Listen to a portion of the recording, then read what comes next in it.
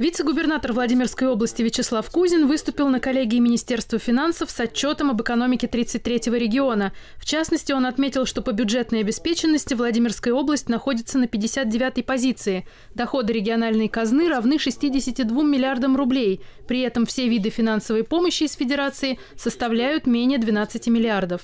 По словам Кузина, в последние два года рост собственных налоговых доходов превышал общероссийский показатель. С начала 2017 года госдолг региона сократился на полмиллиарда рублей и составляет чуть больше трех миллиардов. Как отметил министр финансов Антон Силуанов, это один из самых низких показателей в стране и поставил Владимирскую область в пример другим. Есть регионы, которые очень аккуратно относятся к своим обязательствам, к расходам, занимаются и привлечением доходных источников. Вот среди таких субъектов это вот Владимирская область.